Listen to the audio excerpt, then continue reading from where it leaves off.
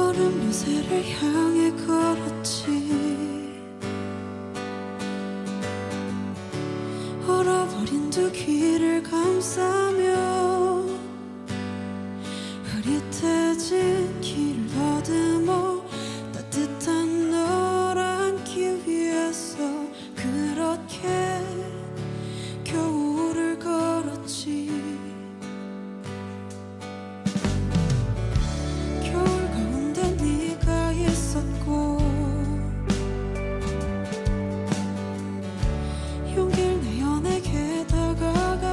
Nem